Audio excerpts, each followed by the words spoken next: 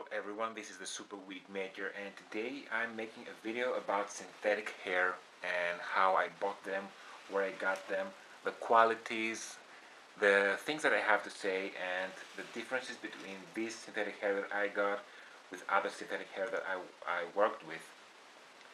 I have bought a long time ago, uh, I was actually searching for platinum white hair, synthetic of course, and most of the hair that I came across looked so ugly and plastic and too snow white. So I watched uh, a photo of some synthetic hair and it looked so beautiful. Of course everything in photos might look better or they might be edited to look better but I went ahead and bought one of them and I was stunned by the quality of this white synthetic hair. First of all, you can see the difference between uh, pure white and this white. This, this actually looks uh, more like a, just more like a sugar white. It does have a little bit of a tint into it, like ivory white or something. So it's so much better. And I went ahead and bought some some more of them, and I'm very pleased with them. Along with the whites, let me just start putting them aside. I'm gonna keep one white here just for comparison. Yeah these are the whites I have also bought some uh, blends. This is the platinum which is a 613 and a 60 together. And I'm gonna introduce to you in a problem that these here also have. There's another one. They look very identical. This is a white one. Yep. And where's the other one? I think There should be another one of this, but I don't know exactly where it is right now. So I thought that this was a very beautiful color, so I went ahead and ordered more of it. And look at that. This is a hashtag 60. This is a blend 60 and 613, and this is another 60 and 613. And why this difference?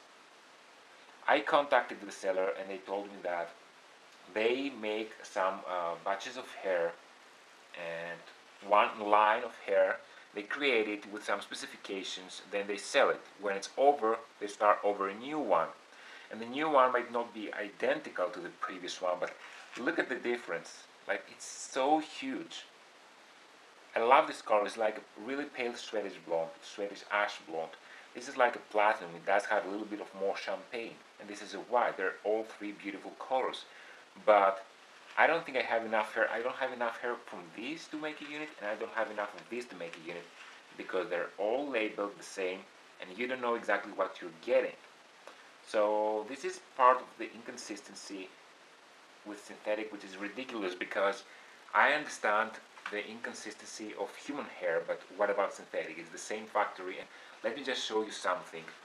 I bought all this hair from various vendors throughout they they all have different names. But when I get the, the packaging they all come from Huang Cao Yang Quintac Hiaoqiu Building 8 Unit 2 Room 401 China and the telephone number. And all of these they all have the exact same name. Where is it? The exact same name the exact same telephone number. Everything is identical. So to me, it sounds that either one person has all these eBay stores or they're just resellers and they all buy from the same factory. So they just make the order to the factory and the factory ships it to me, to the customer. So what, what I want to say is that it's not different vendors, so you don't have consistency. It's exactly the same factory, the same hair. They all take it from the same person, so it doesn't really make any sense and then I just ordered one 613 which is like the pure yellow blonde. Uh, it doesn't look very beautiful. The color the hair is pretty I mean the shine pattern is okay but I wouldn't really want to make a unit out of this. I just got one of these just to be able to see how it looks. And yeah the color is like piece yellow. I don't really think that's worthy. Uh, this kind of hair is good for um, character wigs probably because you might want to have a wig that's a yellow blonde just because you want to get dressed like someone who has yellow blonde hair. I don't know. But naturally this color is not very preferred because people, when they dye their hair blonde, they really want to get rid of the yellowness. So you get the point. Um, another huge inconsistency, both in color and quality. This is labeled as red on the sides that they sell, but when it came, it, it was like hashtag 113. This is the code of the color, and they all came from the same vendor, the same code number. Like, but you can see, look how much this shines, and look how much better this one is. This is darker, it's like a true red, and this looks like cheap party wig hair. And there's also difference in this is the brown clips and lace, and this has the blonde clips and lace. So I contacted the seller and I asked them, uh, you don't have enough consistency and I hate it, but how do I know which batch am I uh, getting? So one of them has like a brown, the other one has like a, a beige, a blonde. So how do I know, how can I order this specific one? Because it's a very beautiful color. I would love to have like 10 of this and make like two units. People would pay to get something like that, but not something like that. And they told me that this was the old one, the old line, it finished and now they're selling this. So I told them, okay, I don't want to buy any more red from you because that sucks big time. So now I have these two that I don't really want to use. This is only one, which is not enough to make a unit. So, you know, I'm stuck with this ugly hair. Um, then I'm going to talk to you about some darker colors. This is the number 12. This is number jet black, number 1. This is number 4. I bought one of each kind just to see the colors because everything looks very good in the side but uh, when you get it up close you realize exactly how it looks and how it acts. This color is perfect. I just love it. I don't really like black hair but when it gets so perfect, straight and so healthy looking and this is a jet black, it's not blue, it's not purple, it's not nothing, it's not brown, it's just black, charcoal black, beautiful. I would love to make a unit out of that. This is number four. It's actually a very ashy dark brown so it can look really natural because it has absolutely no warm tones. It's very ashy, very beautiful, very natural, dark brown, number number 4. And this is number 12. This is like a really warm tone brown, like a chocolate brown, not so much chocolate as much as warm brown, but it's beautiful.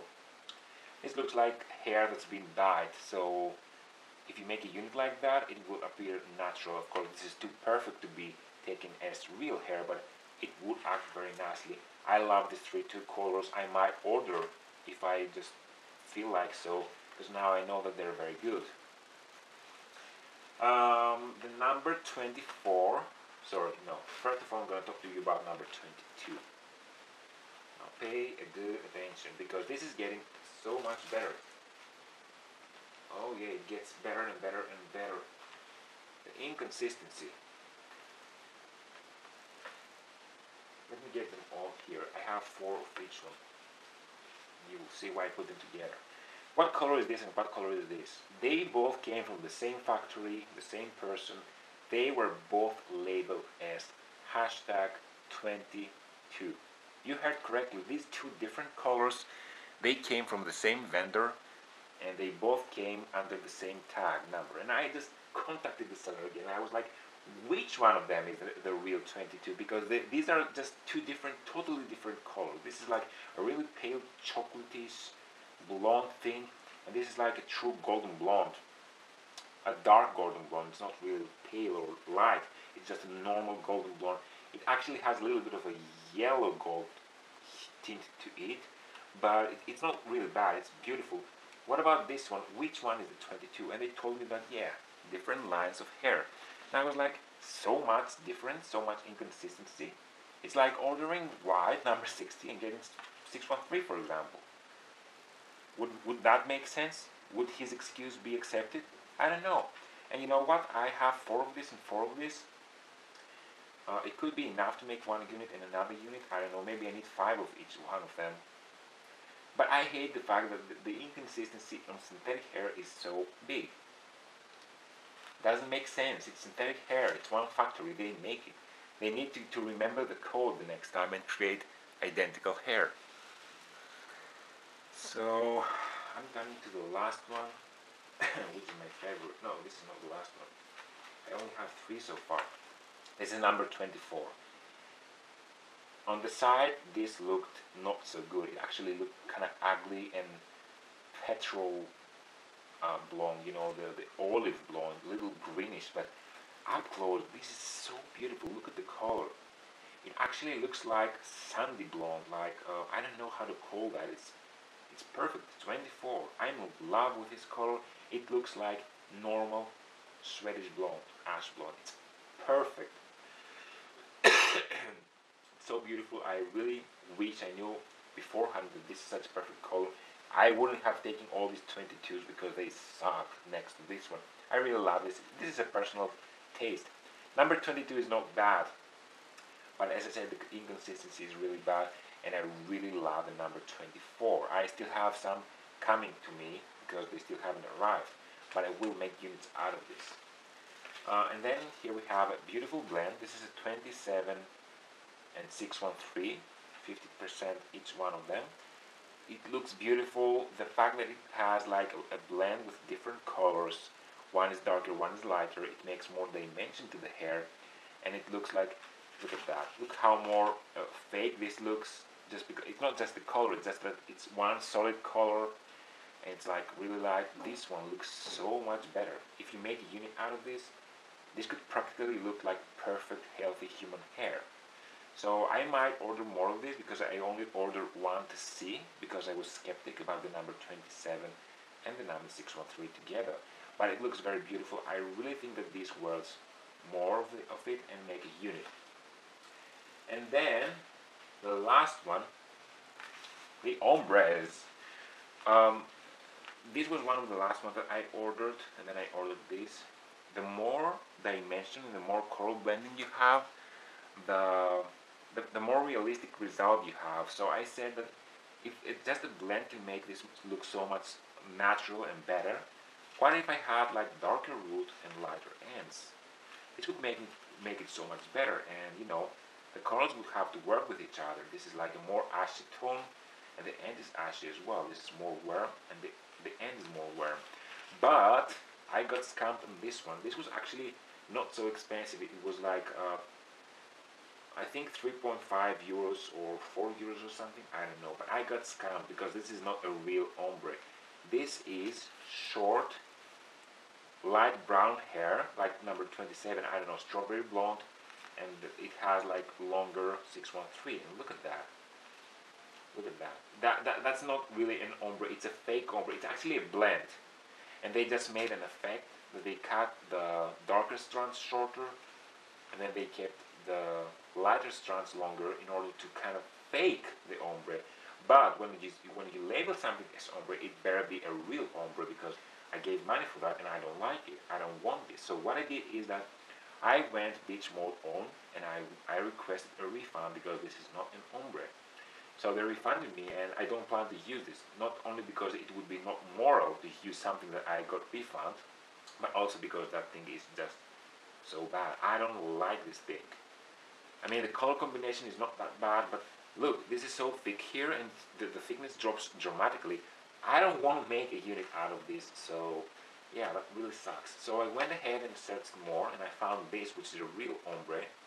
Uh, and of course the color combination is a little bit more uh, realistic. This is a 10T16. I'm going to take this apart so as to show you how beautiful that looks. Um, there it is.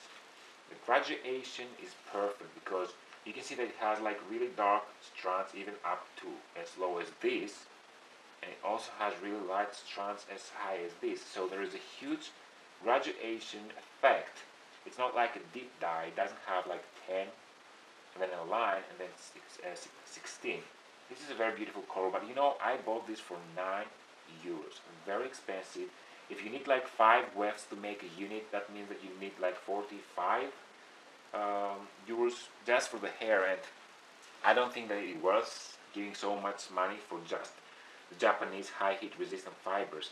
When I can buy one of these, like I bought all of them in auctions, all of them except this one and this one. So they were starting like at one dollar, and my, the maximum that I put was like two or two and a half euros. So you realize that this is like it could be like one one dollar or, or one euro. This is like nine. So nine of them would cost equally as much as this one. So yeah, I didn't buy them also cheap. Some of them were like three euros, but this is nine euros. It's very expensive, and I don't really think that it worth giving so much money for just a small weft that you're gonna need like five of them to make a unit. Though the prop, the the color is just perfect. This looks so realistic, like a really ash brown, and then the ends are like a really nice light colored blonde number 16 beautiful combination very expensive I contacted the seller asking him if he could make a much better price if I was buying like 10 or 20 or 50 or 100 and the answer was not so pleasing to my ears so I think I'm not really gonna go ahead and buy more for now until they drop the price. Or I could use this as a combination like have a number a brown number 4 underneath the wefted unit and then you use this on top you know. I don't know I really don't know. So what I did is that I made a research and I'm gonna make a new video for that because this video is already getting a little bit too uh, long. I got some fabric dye this is brown I don't know if you can see that mm, no anyway this is brown and it has some uh, it can dye 400 grams of uh, cotton, linen, viscose, etc. or 200s of uh, wool or nylon or lycra or whatever. It has the description here how to do that and I do plan to make a new video and try to dye even white hair or this hair or this hair and see how brown it can get next to the other. I'm gonna try to make my own real ombre synthetic because yeah, I'm gonna talk about this in the new video. I really hate the Sharpie method or any marker method. I need the color to be color fast. I need it to be permanent. I need it to be solid. So I'm gonna try this in the next video. So yeah, this, these are my five cents in the hair. And if you really have any tips for me, you can just tell me where you get your own hair. I have worked with Hyperlon fibers from Arda Wigs, very beautiful hair but very expensive shipping so the hair ends up being extremely expensive. And I have worked with uh, shapeshifter monofiber from Doctored Locks.